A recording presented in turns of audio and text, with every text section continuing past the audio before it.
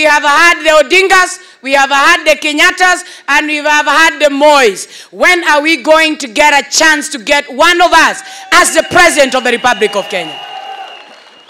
When we talk in this conversation, we do not mean that we want people to be poor so that we can celebrate you. We are saying, come as you are. If you have a heart to help, you have a heart to serve, you have a heart for change. And that is why we are saying, if it is time for liberation, then we must join in. Bring like minded people together. The same way today we have Jimmy Wanjigi, we have William Samoei Ruto, and we have other great Kenyans gathered here.